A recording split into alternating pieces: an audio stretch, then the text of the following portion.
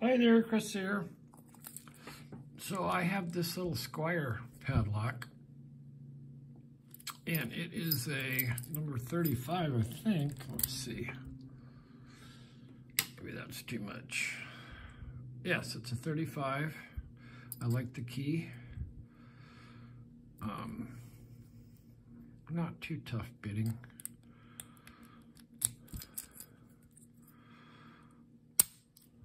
It has quite a strong spring to turn the core once you've picked it and a really nice snap. So I thought I would try on this one the Rook Knight covert tool and I'm going to demonstrate the holding of it in the flying V pattern. So when you do that you want to spread it out like that and pick it like this.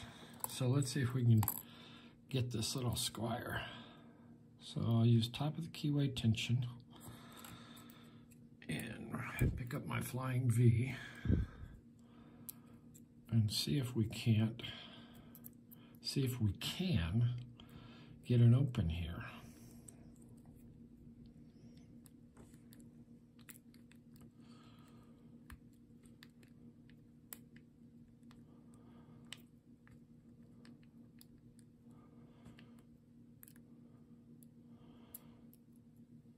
I'm using the short hook on here.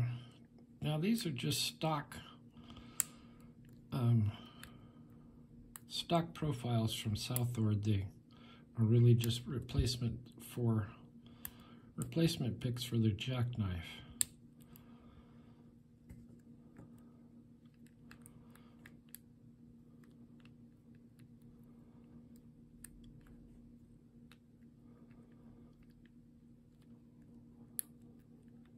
Bit of a tough pick. Should be able to get it. And it's kind of like 1100, an American 1100. Once you get the core to turn, you need to put a lot of pressure on turning it to get that open. So there you go. Once again, the Rook Knight Covert do-it-yourself lock picking tool and there's many ways to hold it. This one was, like I say, the flying V technique. anyway, thanks for watching. Um, subscribe, leave a comment, uh, ask a question, and we will see you next time.